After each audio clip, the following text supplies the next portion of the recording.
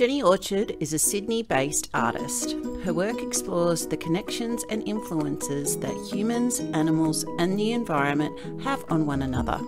She creates ceramic works that look like hybrid creatures and paper collages that combine human, animal, and plant imagery. Now, Tammie will show you how you can create your own Jenny Orchard inspired collage. Hi, my name's Tammie and I'm here at Wollongong Art Gallery. I'm one of the tutors here and we're going to have a look at the artworks of Jenny Orchard and use her art practice as some inspiration for making some collage artworks.